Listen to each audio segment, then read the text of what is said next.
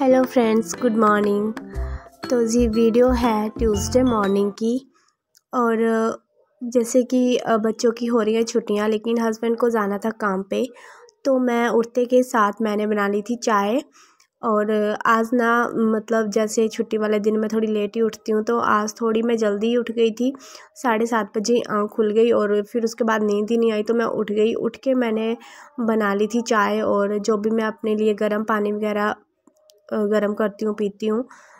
वो सब मैंने कर लिया उठ के ही।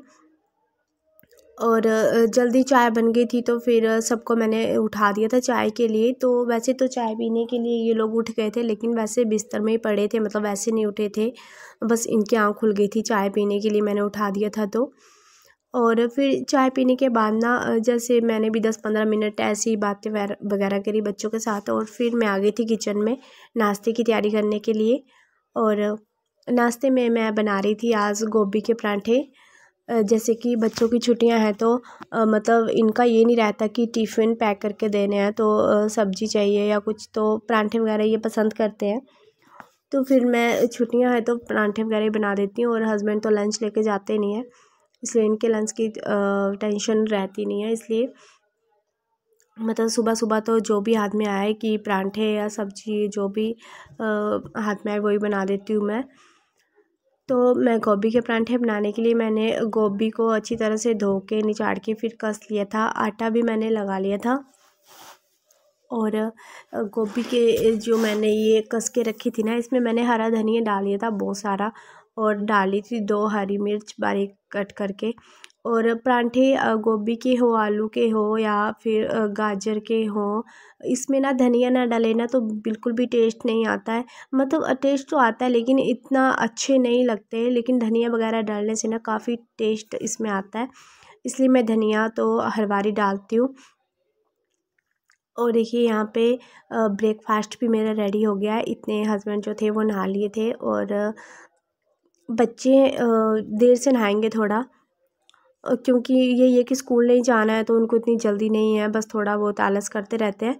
और यहाँ मैंने परांठे लगा दिए हैं, इतना वो नहा धो के पूजा वगैरह करने हैं। वैसे तो मैं गर्मा गर्म ही दे देती हूँ।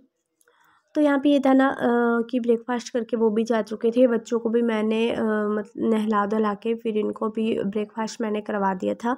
और मैं लग थी अपने घर के काम करने।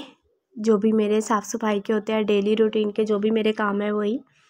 तो धूप नहीं थी अब तक, लेकिन मुझे लग रहा था ऐसा कि धूप आ जाएगी थोड़ी देर में ही। तो फिर मैंने सोचा कि क्या पता धूप आ ही जाए और कपड़े तो धोने ही हैं। वैसे मन नहीं था बिल्कुल भी कपड़े धोने का, लेकिन तबीयत जो थी ना, आज थोड़ी सी ठीक लग रही थी मेरे को। तो मैंने फिर मैंने साथ ही साथ मशीन भी लगा दी और मैंने कर दी बेडशीट भी चेंज। अभी मैंने मतलब गाँव के आने के बाद ही बिछाई थी मैंने अभी तीन चार दिन नहीं हुए थे। लेकिन यही था कि इसमें ना वाइट कलर भी था ना बीच में तो आ, मतलब वो उसमें थोड़ा गंद सा दिखने लग जाता है गंदगी सी मेरे को ऐसे लगने लग जाता है। हालाँकि गंदी नहीं होती है बेड के ऊपर ना कोई खाना खाता है ना कुछ लेकिन फिर भी वाइट कलर होना तो उसमें हल्का सा भी कोई दाग सा लग जाए ना वो भी दिखने लग जाता है। तो फिर मैंने बेडशीट भी चेंज कर दी थी।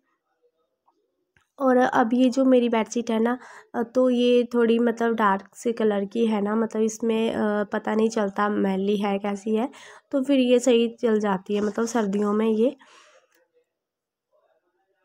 तो यहाँ पे मैंने अपने ब्लैंकेट वगैरह उठा लिए है, बेडशीट वगैरह ठीक कर दी है, और इधर उधर जो भी कपड़े वगैरह पड़े थे, जो भी सामान पड़ा था बेकार का, वो सारा मैंने उठा के उसकी जगह पे रख दिया है अपनी अपनी जगह पे। और फिर मैं लगा लूँगी झाड़ू और यहाँ पे मैंने ना मशीन भी लगा दी थी और मेरे को लग ही रहा था कि धूप आएगी और सच में धूप आ गई थी। तो मैंने मशीन लगा दी थी, कपड़े हालाँकि ज़्यादा नहीं थे, लेकिन वही था कि मैंने बेडशीट वगैरह चेंज करी थी तो बेडशीट का जो था बस यही था कि बेडशीट वगैरह हो गई थी धोने के लिए। बस इतने ही कपड़े थे कि वो एक, दो बारी में ये कपड़े धुल गए थे। और मैं यहाँ पे लगा रही हूँ झाड़ू। सुबह उठती हूँ ना तो ऐसा मन करता है कि आज पोछा नहीं लगाऊँ, बहुत सर्दी है और फ़र्श भी साफ़ है और पोछा नहीं लगाऊँगी, आज बस झाड़ू झाड़ू लगाऊँगी। लेकिन फिर धीरे धीरे जब काम करने लगती हूँ ना तो ऐसे मतलब एक काम को छोड़ के दूसरे काम को पकड़ लेती हूँ कि नहीं, पोछा भी लगा लूँगी, ये भी कर लूँगी। और आज ऐसे ही हुआ था कुछ कि मैंने झाड़ू लगाया और झाड़ू के साथ ही फिर मेरा मन किया कि नहीं, पोछा भी लगा लेती हूँ, मौसम अच्छा हो गया है बाहर। तो फिर मैंने पोछा भी लगा लिया। इतने बच्चे देख रहे थे टीवी, मयंक देख रहा था।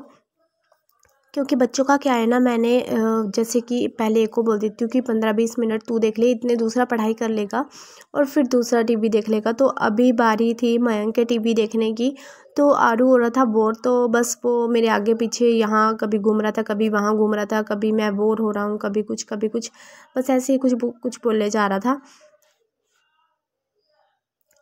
तो फिर मैंने पहले तो उसको अपने साथ काम पे लगा लिया छोटा मोटा काम जो जो भी वो मेरी हेल्प कर सकता है, उतना वो मैं करवा रही थी उससे। और फिर नहीं मानना वो उसके बाद भी कि लो, ये काम भी मैंने कर दिया, अब मैं क्या करूँ क्या करूँ तो मैंने उसको फिर पढ़ने बिठा दिया था। थोड़ी देर वो पढ़ने बैठ गया तो फिर शांत हो गया था कि नहीं, अब ज़्यादा कुछ बोलूँगा तो ज़्यादा पता नहीं मेरे को कितना काम दे देगी मम्मी करने के लिए, इसलिए फिर वो शांत बैठ गया था। क्योंकि जब उसकी बारी ख़त्म हो जाती है ना टीवी देखने की तो फिर वो मेरे को ही परेशान करने लग जाता है कि अब मैं क्या करूँगा, मैं तो बोर हो जाऊँगा, ये वो। तो फिर इतने वो भी देखिए, पढ़ रहा था और आ रहा था, मेरे को सुना रहा था कि हाँ मेरे को ये लर्न हो गया, अब मैं आपको सुना दूँगा। ताकि सोच रहा था कि मैं जल्दी जल्दी सुना के फिर फ्री हो जाऊँ मैं भी पढ़ाई से। और साथ ही साथ मैं कर रही थी पोछा लगाने का काम। बस ये मेरा लास्ट का काम था साफ़ सफ़ाई का और फिर इसके बाद जो कपड़ों का चलना था वो तो ज़्यादा नहीं थे। साथ ही साथ कपड़े तो मेरे धुल ही गए थे, बस मैं साथ ही साथ कपड़ों को भी निचाड़ के मतलब सुखा ले रही थी, ड्रायर में डाल दे रही थी और दूसरे बारी के जो कपड़े हो रहे थे उनको डाल दे रही थी। ये सारा काम मेरा साथ साथ ही चला था, पोछा लगाते के साथ साथ ही। और, पोछा लगाने के बाद अब मैं सुखा लूँगी कपड़ों को भी छत पे और फिर बारी आती दोपहर के लंच की तो दोपहर का लंच बना के मैंने फिर मयंक को भेज दिया था तीन बजे ट्यूशन और फिर रह गया था आरू तो उसको भी मैंने साथ ही साथ दोनों बच्चों का लंच करवा दिया था और आरू को मैं थोड़ी देर फिर सुला देती हूँ और फिर उसके बाद उसको पढ़ने बैठाती हूँ। तो बस मैं अपनी इस वीडियो का भी यहीं पर ही एंड करूँगी गाइस वीडियो अच्छी लगी हो तो वीडियो को लाइक और शेयर करना ना भूलें। चैनल को प्लीज़ सब्सक्राइब कर दें। और मिलती हूँ मैं आपसे अपनी नेक्स्ट वीडियो में। तब तक के लिए bye bye and take care